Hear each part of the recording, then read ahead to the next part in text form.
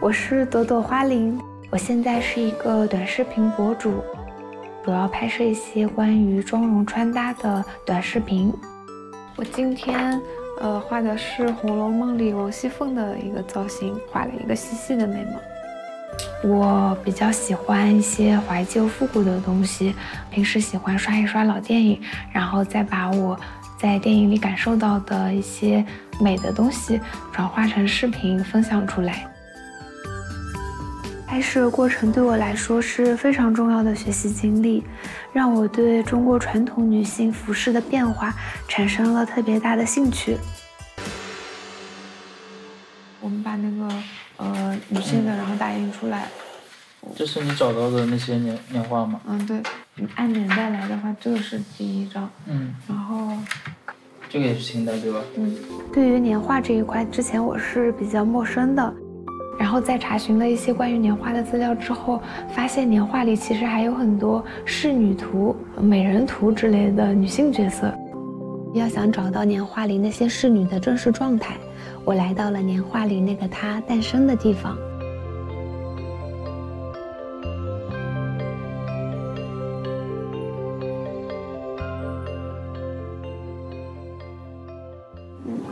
朵朵，来给你看一下我们《桃花坞年画》里面的一个美人。哇，老师这个好清楚啊！因为我我自己打印的那一版就是没有这么清楚，然后这个可以看清花纹。嗯，这张画呢，它是一个圆形的年画，嗯，我们也叫做月光形的年画。嗯，这幅画的名字叫《桐下美人图》，是因为画面当中有。梧桐树，嗯，然后下面有一个美人，然后她就是很懒懒的靠在这个栏杆上面嘛，有点像在园林里，就看起来很闲情逸致的感觉。对对对，然后看起来会比较温婉清秀一些。这个呢是。哦，另外一个，做那个合家欢，也是女性，但是呢是一个特别安乐、特别岁月静好的样子。它这个色彩也很鲜艳，这幅，嗯，跟《同下美人图》就不太一样，完全不一样。是年画在发展过程当中，不同的时期，这个用色，嗯，造型它都会有一些不同。其实还是根据当时的社会情况所决定的。所谓的美丽和美好，它更多的是精神层面。透过精神层面呈现出来的一个面貌。桃花坞年画中的仕女脱胎于苏州文人风尚，杨柳青年画描绘的贵妇满是宫廷气派。四川绵竹年画里的姑娘更显俏皮可爱。来自年画里形形色色的她，都是一个年代、一方水土的审美集成。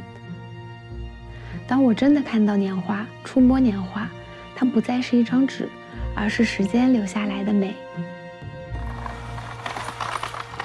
Hello，好，准备，三、二、一，开始。